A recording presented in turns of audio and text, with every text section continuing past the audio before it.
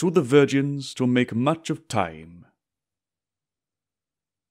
Gather ye rosebuds while ye may, old time is still a flying, and this same flower that smiles today, tomorrow will be dying.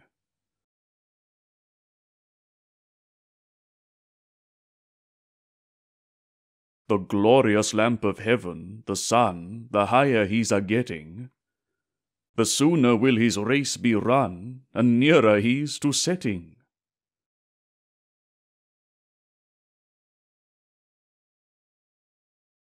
That age is best which is the first, when youth and blood are warmer.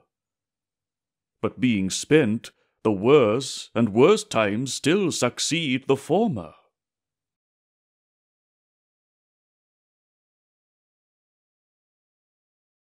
Then be not coy, but use your time, and while ye may go marry.